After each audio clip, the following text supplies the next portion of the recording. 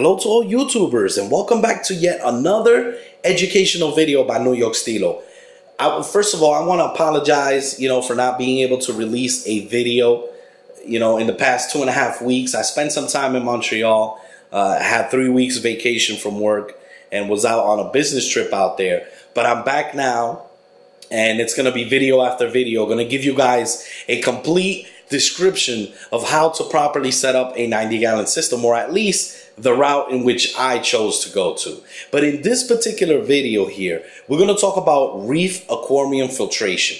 Now, one of the most intimidating factors when I first got into this hobby was the fact that, you know, to have a successful reef aquarium with the best filtration possible would mean that you would have some sort of a sump refugium below.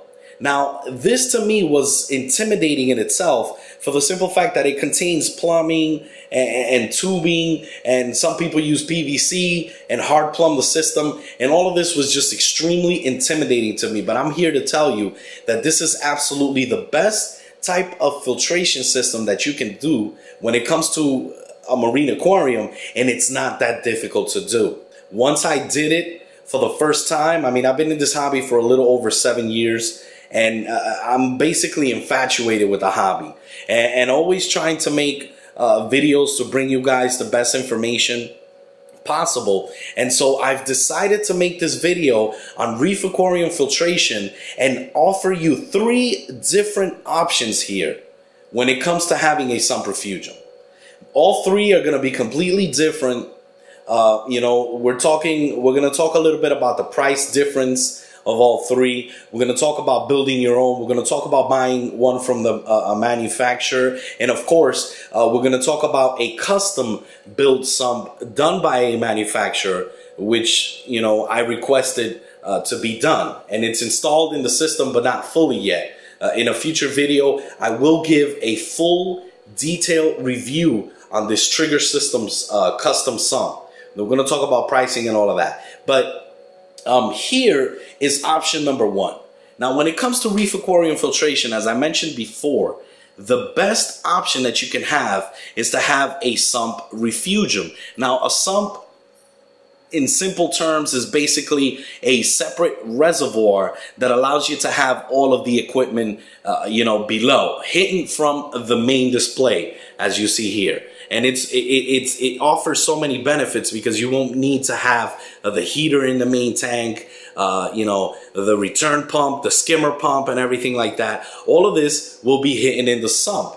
Now the refugium of course is exactly what it is called a refuge area for plants and animals that would otherwise become be subjected to predation on your main display. So plants and animals which highly consume cal um, uh, not calcium, yes, calcium, but uh, all of these negative nutrients via the use of macroalgae uh, you know, it's very important. I would not run a marine aquarium without the use of live rock, a protein skimmer, and a refugium. The benefits are just uh, too much. So with this type of, of sump refugium that you're looking at here, now this is a do-it-yourself sump refugium, and it is probably the most inexpensive option that you have here when it comes to having your own reservoir below. Now this sump refugium here was built by me uh, a little over three years ago. And I do have a four part video series on this particular sump refugium. I didn't document how I built it, and that was because it was my very first video. So if you guys go check it out, it's got a lot of views, like over 30,000 views. But, you know, I was a little shy in the camera and stuff. And as you make these videos, you know, you, you really get comfortable with uh, talking about you know sump refugiums and stuff like that. So you know this particular sump here, I can tell you I spent uh, roughly around 150 bucks to build. A lot less inexpensive uh, to build or, or to have than say a manufactured uh, refugium, which we're going to get to in a little bit here. So this one here, uh, I, it probably would have cost me a lot less money maybe around hundred and hundred bucks if I had not uh, broken several pieces of glass uh, building the sump refugium. But it's rather easy to do, and there are many videos on YouTube that help you, you know, decide what direction you want to go to. Uh, when it comes to building your own. I can tell you that ever since I started making video, there's more than 30 of you who have taken this design and have made it your own. And I'm very happy about that because that means to me that I'm getting my message across to you guys. You know, it's very simple, works extremely easily, and the first stage, of course, is used as a bubble trap, you know, where the water travels down into it and then, you know, travels into the sump refugium area through the middle gap here. Uh, we're going to zoom in here. So basically, the piece that is located on top here is just intended to, uh, you know, keep the bubbles that travel to the surface in that first stage. Therefore, eliminating and preventing less bubbles into traveling into the second stage, which is the refugium stage. Now, I ran this filter for more than uh, a year and a half uh, with this 90 gallon system. And since I've decided to upgrade, because there is one thing about this hobby that is very important uh, for me to let you guys know is that if you're not happy with your system, you're to get, you know, you're to be discontent with the overall system and it's just to be not as enthusiastic as it should be. If you're happy with what you're done, uh, with what I've done here, and we're to get into that, uh, you're to be more into the hobby. You're to love your system more. And so a very inexpensive option here when it comes to this one. Of course, you can see the difference here. It's made out of glass, and glass tends tends to have a uh, you know a green uh, tint to it compared to that of acrylic or starfire glass. Now, a very inexpensive to do. I used one eighth inch of glass, and it's really sturdy. I mean, this Sump Refugium went through hell and back. I mean, it's it suffered all kinds of abuse, uh, vibrating pumps and the such. And uh, if you have any questions on it or are interested in building your own, uh, take a look at my four-part video series so you can see how it works. And maybe uh, send me a couple of messages and I'll probably give you a couple of tips on how to build it. But, you know, your second option here would be for you to buy a Sump Refugium that is made by a manufacturer. Now this one here is made by Aqueon. It's the ProFlex Sump Refugium model number four.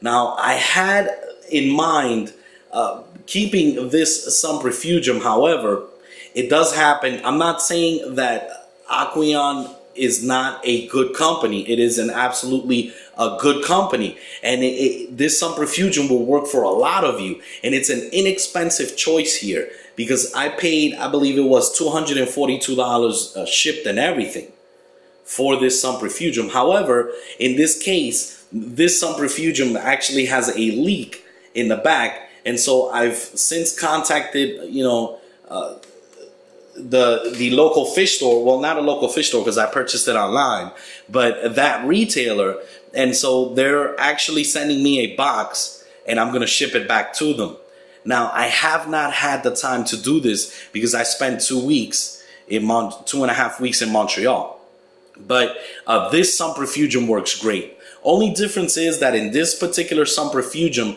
the protein skimmer will be in the end but don't don't get intimidated by that factor.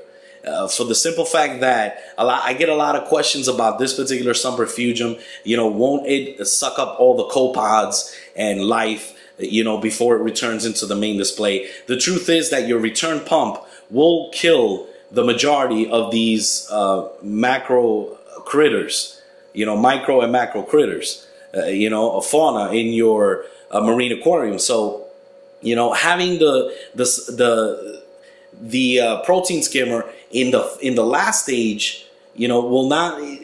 You're not gonna, you know, when it comes to differentiating a sump refu- a refugium below versus that of a refugium in a hang on the back. And I covered this in a video. Uh, you guys can get more information on that. But do not get intimidated by it. If you really have a, problem with you know, when it comes to funds and stuff like that, th- this is a, a sump refugium that I do recommend.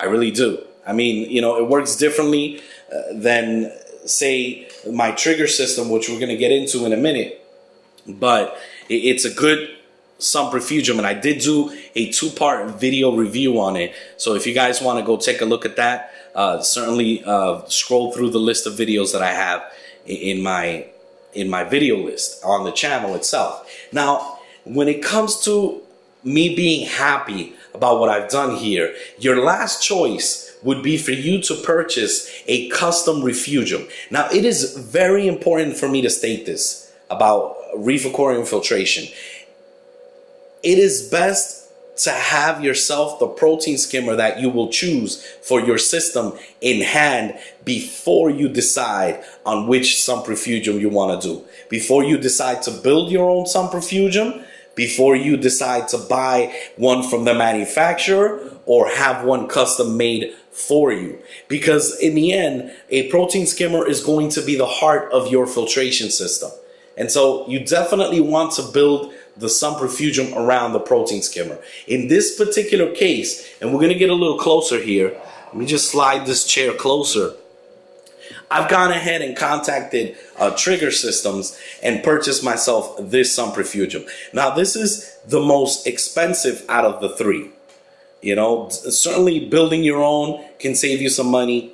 Uh, you know, buying one that's already built from the manufacturer uh, can be less expensive.